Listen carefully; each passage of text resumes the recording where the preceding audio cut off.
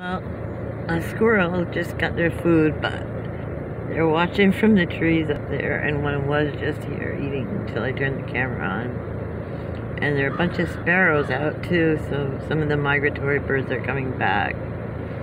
Good morning, Sully. Good morning, Tucker. Good morning, Lillian.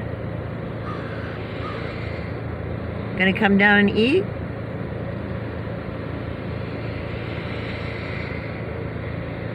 Well, I'll see you later. You're kind of far away.